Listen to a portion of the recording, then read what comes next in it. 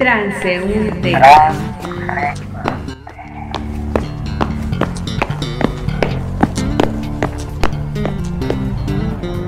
Contracultura y rock. Buenas noches, Gaby Cabañas. Te voy a presentar a un amigo que es parte del Observatorio del Rock Mexicano, investigador en la Universidad Autónoma Metropolitana, un conocedor profundo de la escena gótico dar, porque London After Midnight se presentó hace 30 años y parece que ese fue el hecho que marcó el inicio de la escena oscura, o al menos así lo acordaron. ¿Estoy en lo correcto, José Hernández Ríos? Eh, sí, sí, bueno, eh, fue un acuerdo inconsciente en realidad, este, y después ya consciente, sí, este, eh, pero sí, sí, o sea, este, marca, marca un momento importante, ¿no? El, este, es ese concierto, alrededor de muchas otras cosas que ocurren ese, ese año, 1994, donde pues sí hemos, eh, de alguna manera, varias personas, gente que lo estudiamos, pero también gente que estuvo por ahí en esos momentos, eh, como la explosión de la escena oscura, ¿no? Ya, o sea, o decir que ya se puede hablar de una escena oscura a partir de ese año. Eh, José, bueno, tú también eres parte de Hueco, integrante de Hueco, eh, estás dentro del que genera obra, estás estudiando la escena gótico dar. ¿Por qué, por qué llevar esto también a la academia? Porque es algo que, que no se consideraba así, pero tú lo llevaste a la academia también.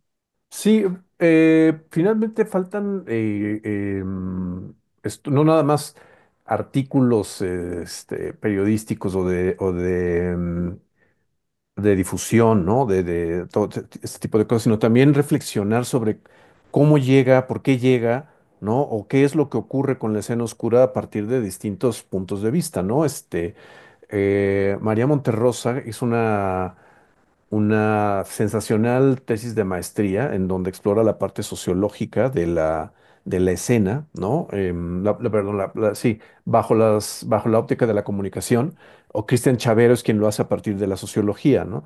Pero pues la, la escena, como mucho, como todas estas expresiones culturales eh, que tenemos en México, pues habla mucho sobre nosotros, ¿no? Se pueden hacer cosas a partir de género, a partir de género musical, ¿no? A partir de corporeidades, ¿no? Muchísimas cosas que vienen ahí, este, eh, desde, desde la escena y que se pueden ir observando cómo es, cómo ha, eh, eh, se ha manifestado y cómo ha evolucionado la sociedad frente a ellas, ¿no? O sea, un caso, pues, viejo, que ya no se, se ha difuminado un poco, es, por ejemplo, el asunto del colorismo en la escena, en la escena gótica, ¿no? O sea, siempre mm, escuchábamos más antes que ahora el ¿por qué son darks? ¿Por qué son góticos si ustedes son de piel oscura? ¿no? Este, cosas como esas, pues, ¿no? Donde la, hay, eh, la respuesta sencilla es porque así quiero ser y al demonio, con lo que pienses. Pero vaya, sí hay una cuestión que va de este, a una profundidad fuerte, ¿no? Y como, por ejemplo, en ese sentido, la gente en algún momento, eh, s- decíamos, se echaba el pambazo en la cara, ¿no? Para, eh, a- a- a- am, de alguna manera, aclararse y cómo eso ha- ha- se ha desarrollado a, a lo largo de los años, en donde de repente ya no es un pambazo, sino ya es un maquillaje blanco, ¿no? O sea, una, una diferencia entre quien se pone una máscara y quien de repente se blanqueaba, ¿no? O sea, entonces va va para muchos lados, entonces es interesante tomarlo desde la, desde el punto de vista académico. eh, porque llama la atención, llama la atención e- y, y- y no creas, eh, digo, en, en el rastreo que hemos hecho son pocas, pero de repente uno, pe- uno pensaría que son tan pocas cuando hay, este, bueno, hasta hace dos años había como 25 tesis sobre la escena Wow. oscura, ¿no? Entonces, eh, de- a esas las que encontramos en el repositorio de la UNAM, pero seguramente hay muchas más y se han generado muchas más. Eh, José, ¿cuáles son los elementos simbólicos que te hacen pertenecer a la escena oscura? Y si hay algunos elementos endémicos, digamos, en México, algo que solamente ocurre en México. Sí, bueno, eh, mm, Por supuesto es el, el- es el, el más aparente, los superficiales, ¿no? La manera de vestirse, ¿no? O sea, esta parte del negro, eh, pero hay un, digamos, en una, cuestión mayoritaria, ¿no? De este, dentro de la escena oscura, sí hay identificadores, o identifica, estoy hablando muy académico ya, este, eh, hay, hay este, elementos, ¿no? Que, que te dicen, este tipo de ropa oscura, ah, eh, apegada a la escena, pues, son típicos de la escena, estos solanes, ¿no? O estos, estas eh, gabardinas largas, negras, por ser mu- mucho terciopelo, mucho, muchos, este, accesorios, no muy grandes, pero sí muy, vi- muy, muy visibles, ¿no? Por así decirlo, de, de una manera eh, digamos, es el kit, ¿no? De este, co- como dicen por ahí, el starter kit del gótico, ¿no? Pero lo que define a México es que, quién sabe por qué ocurrió, se hizo muy cultural la escena, ¿no? O sea, no nada más es una cuestión musical, sino que siempre hay, hay este eh, producción literaria, producción teatral, producción dancística, producción eh, poética, ¿no? Y tiene este halo cultural, ¿no? Eh, que no se da en otros lados. O sea, simplemente es una escena, por ejemplo, en Estados Unidos, ¿no? Es una escena como cualquier otra que no tiene todo este tipo de, de, de motivos y valores alrededor de ella, ¿no? es una cosa que ocurre en México, pues, ¿no? O sea, hay encuentros o romerías, ¿no? Este, de lectura, sí, pues, este, eh, o, o- o celebraciones de aniversario de Edgar Allan Poe, de Lovecraft, etcétera, pues, ¿no? Y, o hay particip- de las casas editoriales, por ejemplo, siempre ves que hay participaciones en ferias del libro, ¿no? Entonces, eh, es una cosa muy padre de la, de la, de la escena mexicana. Sí, muy buenas noches. Eh, recuerdo, por lo que nos estás comentando, una película, un film muy interesante, Ciudad de Ciegos, que me Ujú, parece que tiene mucho estos rasgos eh, identitarios que nos, eh, de los que nos hablas, pero a la mexicana, ¿no? Con la ujú. participación de Rita Guerrero, de, de Sax de La Maldita Vecindad, de Saúl Hernández de Los Caifanes, que todos ellos de alguna manera en el rock también hicieron este, pues de lo gótico mexicano, eh, una identidad propia que lo llevaron eh, pues a ser muy característicos de este periodo histórico que tú caracterizas. Y bueno, queríamos preguntarte, ¿qué nos puedes recomendar en poesía, en teatro, qué se está produciendo ahora? Pues bueno, está la, la, la editorial, hay dos editoriales, ¿no? La Sangre de las Musas de Carlos Camaleón y Sangre y Cenizas de Cristian Chavero eh, que son las dos editoriales fuertes mexicanas, y ellos, bueno, eh, usualmente hacen sus eh, decir, producciones, ¿no? De este, o, editan sus obras, eh, editan obras relativas a lo que le llama la atención a la escena oscura, ¿no? En cuanto a narrativa, en cuanto a poesía, en cuanto a ensayo. Ahí, este, pues hay muchísima gente participando, ¿no? Este, eh, Sara Arriola como poetisa, por ejemplo, ¿no? O Frisia Guerrero también en, e- en este sentido. Em, teatro, eh, hay de repente diversos colectivos artísticos que eh, montan eh, sus, obras o sus, o sus presentaciones bajo el, este, este halo de escena oscura, ¿no? Tenemos, por ejemplo, también a esta... em, dan- este, da- danza aérea, ¿no? O por alguna razón hay muchos eh, grupos pequeños de eh, belly dance, danza árabe, ¿no? Que están metidos dentro de la escena oscura. Eh, por ejemplo, ahora, ahora que mencionabas las películas, ¿no? Está esta última película, bueno, no última película, ¿no? Esta película que sale en 2022 de Michelle Garza Cervera, que es Huesera. ¿no? En donde eh, hay todo una, todo este halo hacia lo oscuro, ¿no? Contemporáneo, ¿no? Eh, y una cosa muy padre es cómo eh, eh, emplea ella música de las ánimas del cuarto oscuro, ¿no? Este grupo de 1988 de Toño, de, de Toño Sánchez, pues que eh, ahora se ha convertido en un referente de lo que son las raíces de la escena, ¿no? De lo que el- después se va a convertir en la escena así como el trabajo de Harisama, esto no es Berlín, que haya quien le gusta, que no le gusta, pero es también todo un homenaje a el 9, este, mejor hecho que el, la aquella que salió por ahí. Este, tengo que morir todas las noches, ¿no? todas las noches. Sí, vaya, eh, este, muy valioso en cuanto a que sí, es la visión de Harry, que era un chico de satélite en ese momento, asomándose a una escena eh, del sur de la Ciudad de México, a cómo él la entendió y cómo la retrata, ¿no? Desde este, desde este punto, desde, desde esa perspectiva, pero también eh, de alguna manera cómo juega con todos estos espacios que son y no son el 9 o el tutti eh, concentrados en un mismo lugar, ¿no? O eh, fue a, lugares icónicos de la escena alternativa en ese momento que después va a, sacar una raíz hacia lo oscuro que fue, por ejemplo, la Quiñonera, ¿no? Entonces, son cosas muy, muy padres, pues, en retrospectiva. Y pues bueno, una de, o sí, una de las fallas de la escena es que es muy endémica, ¿no? O sea, ve, ve hacia adentro y tiene este rollo como de no salir, ¿no? No salir de su círculo por considerar que este, no abandonar esta parte del do it yourself, ¿no? El hazlo tú mismo. Queremos ser nosotros, no nos queremos comercializar. Eh, pero de no, no, no, de no ser así, ya habría unos lazos muy fuertes, pues, como por ejemplo con los festivales de cine de horror que hay, ¿no? Que son un espacio natural de una escena oscura, pero de repente no hay esta conexión por esta, esta falta de querer salir. Entonces, de alguna manera lo que nosotros hacemos como académicos o como lo que vamos a tener este viernes en Casa del Tiempo, pues, es tratar de sacar o de generar unos lazos mayores, ¿no? Em, una de las cosas muy importantes es el trabajo que ha hecho Alejandro Darcleto, primero en su página de Facebook, eh, que fue Escena Oscura Mexicana, en donde se dedicó a recopilar información, lleva información más o menos como de 650 grupos eh, relativos a la escena oscura de todo el país, no nada más de México, de la Ciudad de México, eh, a partir de 1988 hasta la fecha, ¿no?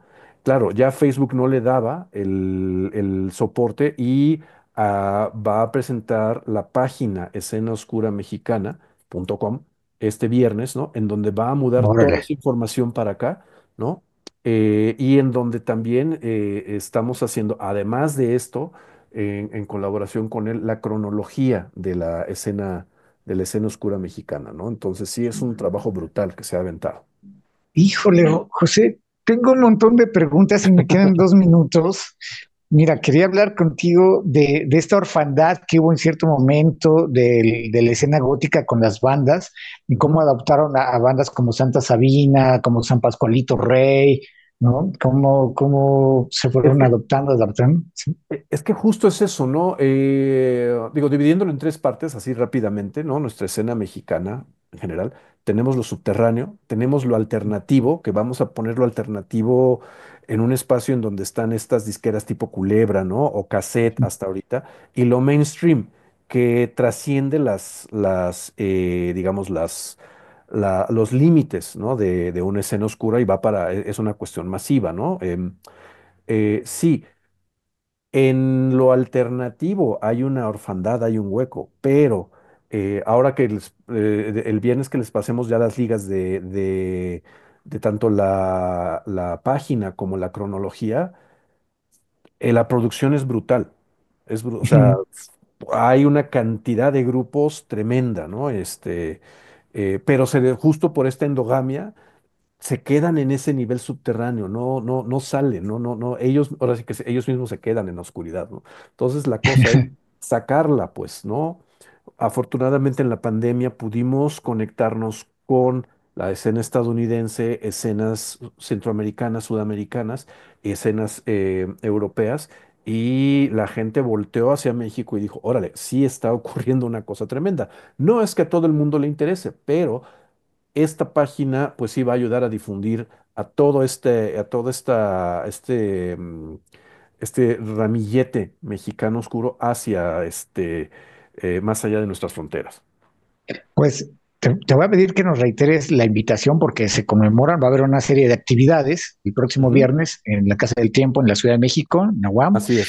Eh, brevísimo, así, Yo creo que la escena en Puebla es muy fuerte y fue muy fuerte durante los años 90 así y, y no sé si ustedes la tienen contemplada, No, pero claro, más de por, dos su- mil, perso- dos mil personas en un concierto, en un festival internacional de la escena gótica Udar en provincia, se me hace que es interesante. Mira, tenemos en, eh, eh, eh, en cuanto a los, a los otros estados de la, de la República, tenemos por supuesto Puebla, que es muy fuerte, tenemos a Tijuana, tenemos a Chiapas, tenemos a Oaxaca, que bueno, está dando también así la, la, la, pauta durísimo, y eh, Querétaro, que Querétaro tu- tu- tuvo un momento muy, muy fuerte cuando... eh, unos, eh, hubo un, un- un desafortunado acontecimiento en donde unos chicos que jugaba- jugaban Vampire, este, cometieron este, una, una, una desvivencia de una persona, ¿no?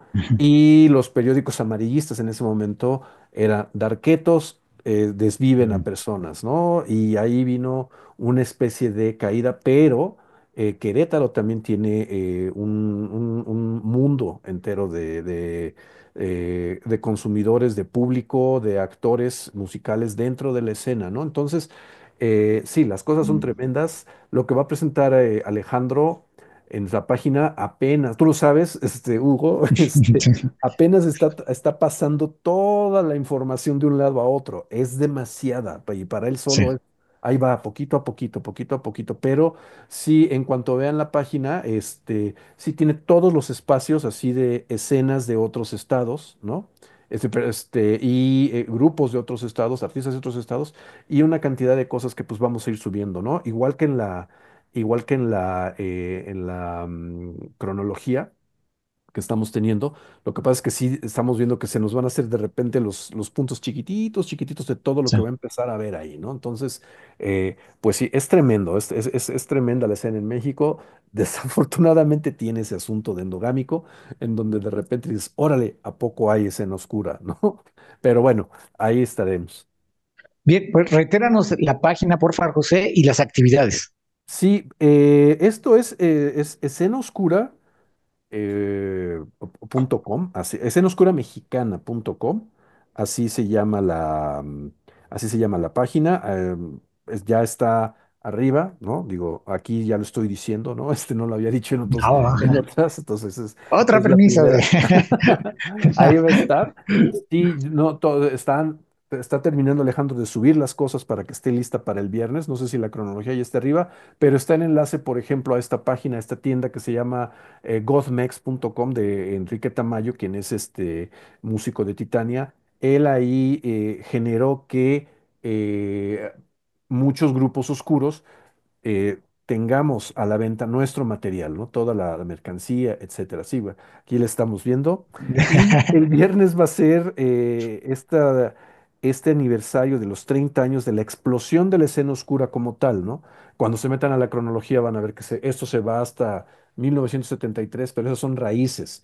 Este, son antecedentes, luego ponemos raíces, después ponemos una protoescena y ya después una escena oscura, ¿no?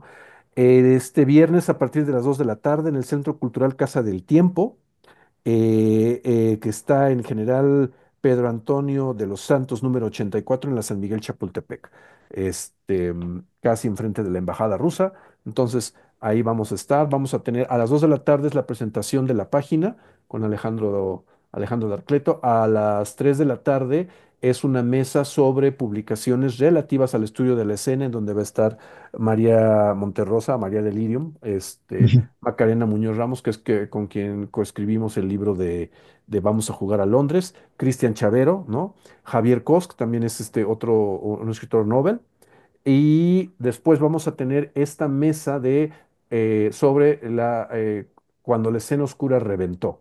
Pero en esta mesa vamos a estar, sí, Macarena, un servidor, pero también vamos a tener a gente como Edmundo Navas, como a mm, Brisa Vázquez, ¿no? Edmundo, el, el cerebro de Opción Sónica, Brisa, este, por supuesto, con el Tutti Frutti, ¿no? Quienes fueron todo, donde se fue gestando toda esta escena, ¿no? Toda esta protoescena, eh, donde se fueron gestando estas raíces para desembocar en la escena. Va a estar también Carlos García de Década 2, ¿no? Este, va a estar Zanoni Blanco de la estación de radio Carpe Noctem.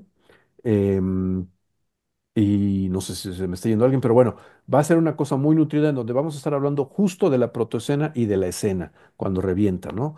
Eh, y lo importante es eso, meter a gente que no son las típicas personas que siempre estamos en estos cónclaves oscuros, ¿no? Sino gente que participó de la escena, que no es parte de la escena, pero la apoyó muchísimo. Entonces, de alguna manera, así lo vamos a ir abriendo hacia otros, este, hacia otras partes.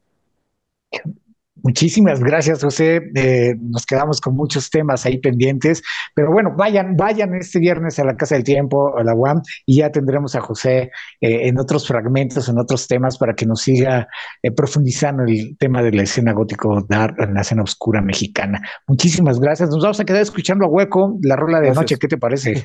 Muchísimas gracias. No, está padre. Gracias, Gaby. Gracias, Hugo, por la invitación. Chidísimo.